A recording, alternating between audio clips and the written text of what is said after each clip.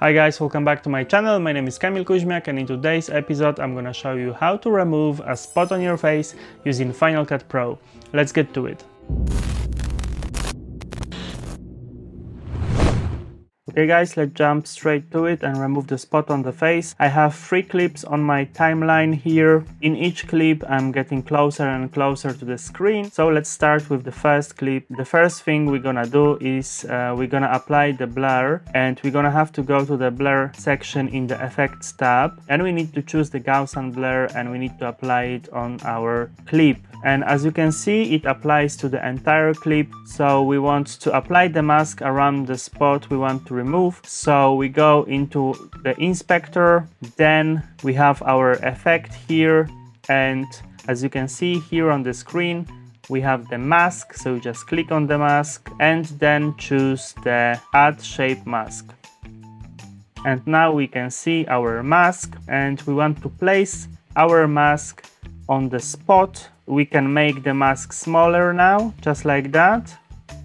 This inner circle is responsible for the size of the mask and the outer circle is responsible for the for the feather. So for now we're gonna leave it like this and we need to zoom in, let's say 200%. Yeah, we need to make it way smaller. We're gonna make the feather smaller as well we need to make it slightly bigger than the actual spot itself and then you go to the blur amount and as you can see if you make it maximum we're gonna uh, switch the mask off now so we can see exactly what's going on. So as you can see when the blur is maximum you can see this like a gray spot on the face and if it's zero then we can see the spot. So basically I recommend turning the blur all the way to zero and then very slowly adding more blur to find like a sweet spot when the spot disappears but you don't get any like weird discoloration. Let's zoom in a little bit more so we can have like a perfect assessment and let's apply the blur. That's too much. We're gonna dial it down a little bit. Now I can see the spot again. Okay, I think that looks perfect. So let's click on the mask again. Now we can adjust the feather. You don't want to make it too big because then it will spill over. I just like to make it something like that. So then we avoid the situation when this blur effect is so obvious that you can see this circle on the screen. With that feather, it helps you to blend the edge of the blur mask a little bit. And now the most important part, we want to track this effect to the spot so this little patch we created follows the spot on the face. So we press on the tracker here on the top of the screen and basically we need to place our tracker directly on the spot and then you just hit analyze. So the Final Cut Pro gonna analyze the movement of the spot and make sure that the mask stays in the right place. It will analyze the clip both ways before the cursor and after the cursor. Okay, now it's analyzed. Now we can see, we can check if the mask is behaving correctly. Okay, it looks perfect. We can zoom out, switch the mask off so we can see clearly. So basically, if you press on the clip and you press Ctrl and R, then you can render the selection. Let me just play that back. Okay, that looks perfect. I like to add Skin Smoother plugin in order to make that patch of blur less obvious. So let's zoom in 100% so we need to go to all the effects. I bought the plugin for around 30 pounds. I can't remember exactly. I will put the link in the description so you can check it out. So you apply the skin smoother on the clip and make sure it's underneath the blur you can hide the blur now and you can open the skin smoother options. You want to apply the color mask on the face. When the face is uh, lit evenly, so you have two sources of light and you have this even light on your face, then it's enough to apply one skin smoother. But if you have the dynamic moody lighting and one cheek is in light and another cheek is in the shadow, you need to apply two separate skin smoothers with two separate masks. So then combined together, they cover the entire face. So let me start with the lighter part of the face. So first what I like to do, I like to click on the mask, choose add color mask, and then you basically sample your image, create a little circle, make sure that the circle is not touching the hair or any other dark part of the image because then it will highlight too much of the image and it will blur out too much of the image. Sometimes I need to do it couple times to get the, the best results. I'm looking for the nicest part of the skin when I have the biggest coverage of the highlights.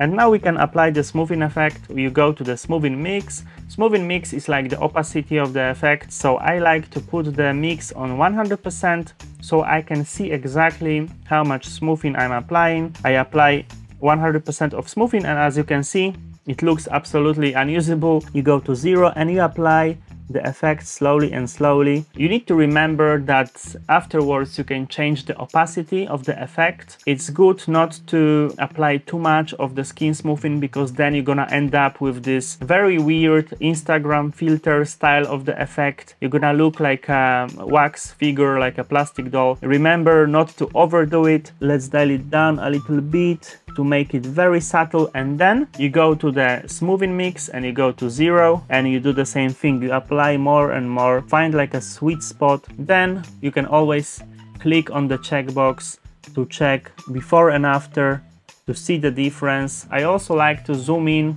on the patch on the blur we created so I can see how well the patch of blur blends with the skin smoothing. I zoom into my forehead and let me switch the skin smoothing on and off and it looks much better. It's blending much better. Maybe I would apply slightly more of the smoothing and make it slightly more visible. And let me check again.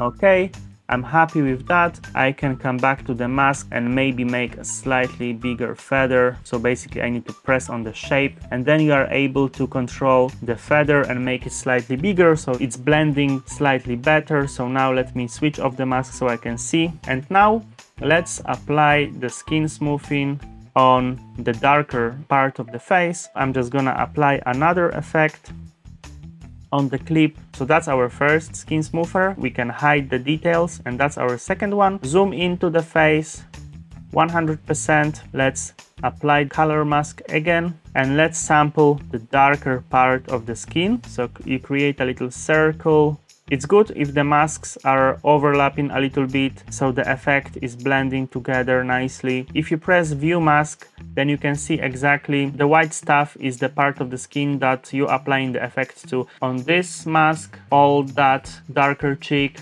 is selected with the white color and if I press on the previous mask the lighter cheek is selected with the color so then you can switch back and forth and you can see if the masks are overlapping, then you can basically copy and paste values from the previous mask. So the skin smoothing, I copy, I go to the mask below, I paste skin smoothing value, then I go to the smoothing mix, I copy that value, I go below and I paste to the second mask and we can hide the details and basically when you press the checkbox next to the effects. Then you can switch all the effects on and off at once. We can see a little bit uh, of before and after, so that's without any skin smoothing and without any blur on the spot, and that's after the retouch. So as you can see, it's very subtle, it's not exaggerated, there is still some detail in the skin, Obviously, you can play around with the settings, you can make it slightly more aggressive, slightly more delicate, but remember that less is more and it's so important to remember not to overdo it because the main goal is to make it look like nothing was done. But I think that looks pretty cool pretty normal. Let me just unzoom. Yeah I think I'm happy with the result. Let me check the full screen. So now I will show you how to copy that effect to your other clips. If you have your edited vlog you need to copy that effect to each separate clip. Okay, maybe I will change the smoothing mix a little bit to make it slightly more subtle. Maybe I will change it to 30 on both of the masks. Let me check before and after okay I'm happy with that. Let me show you how to copy all of those effects to the second clip. I hide all of the details. I highlight all of the effects. And I create a preset. So you press save effects preset. Let's call it spot remover. You can create categories. My category is kk vlog because that's the name of my vlog. So let me just save it. Let me go to the effects tab and let me type spot remover.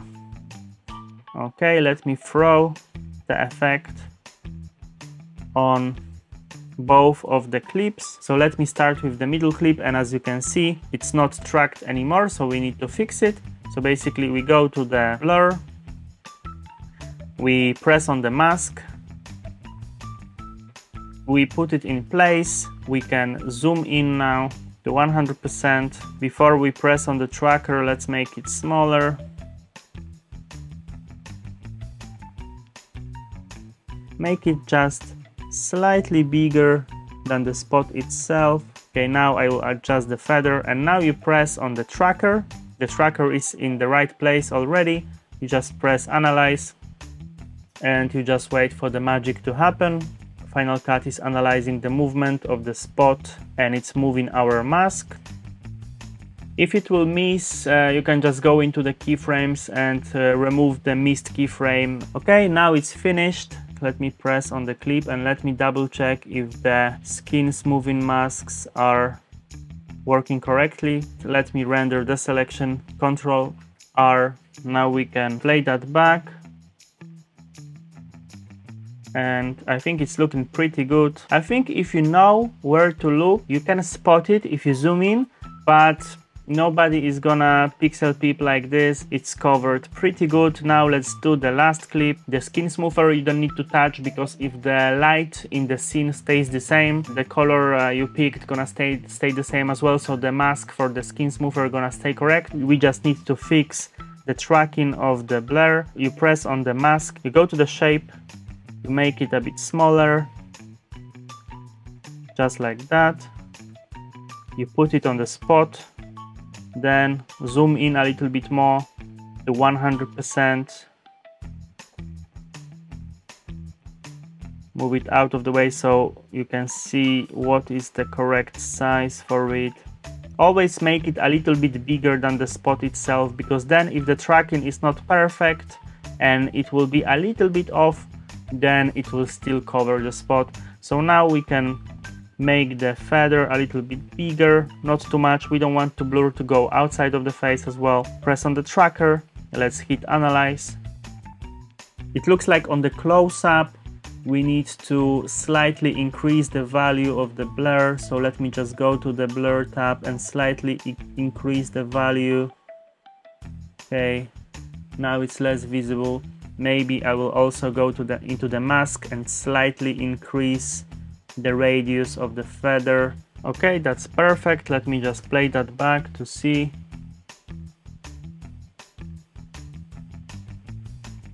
It's looking pretty good on the close-up, but as you can see, when the head is turning, the feather of the blur is going outside of my face. Maybe they won't notice, but it's safer if you keep the mask a bit smaller then. Okay, I'm happy with that. Now we can apply the color grading, so I have a ready one that I've done before.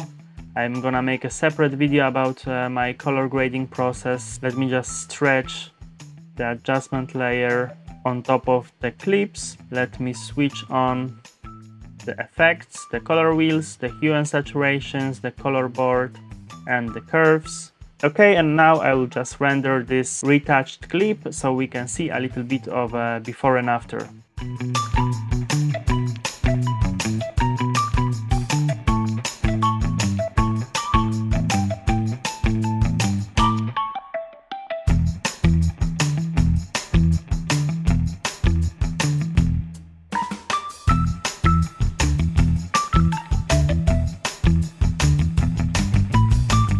Okay, there you have it guys. As you can see, it's not so difficult and it can be very handy. Obviously, if you have loads of blemishes to remove, it may be a little bit problematic and then maybe applying the uniform skin smoother is uh, a little bit more practical. But if you have one annoying, very visible spot on your face, you can't cover it with makeup. That happens a lot that it's impossible to like completely cover it. With this method, you can uh, get rid of it. Okay guys, that's gonna be it for today's vlog. If you had fun, don't forget to leave the thumbs up and subscribe to my channel because there is more content on the way.